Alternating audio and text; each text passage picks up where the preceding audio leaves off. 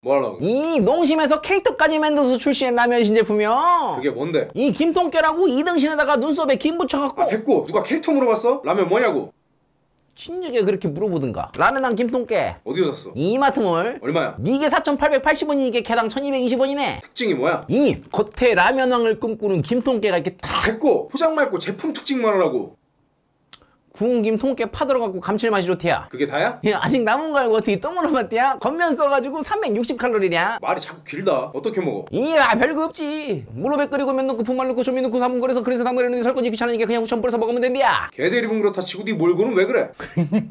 아, 됐고 그냥 먹어봐 나 아무 말도 안 했는데 너 헛소리 할 때 표정이었어 먹어봐 요즘 날카로워 맛은 어때? 그 너구리 국물에다가 길 타서 겉면 넣는디? 맵기는 어느 정도야? 안 매워 안산탕면 정도? 김깨 파 맛이 나? 깨랑 파는 모르겠고 김 맛은 확실하게 나 비슷한 라면 뭐 있어? 너구리 너구리 그래서 또 사 먹어 안 먹어? 아이 이거 먹을 거면 너구리 먹지 그게 더 맛있어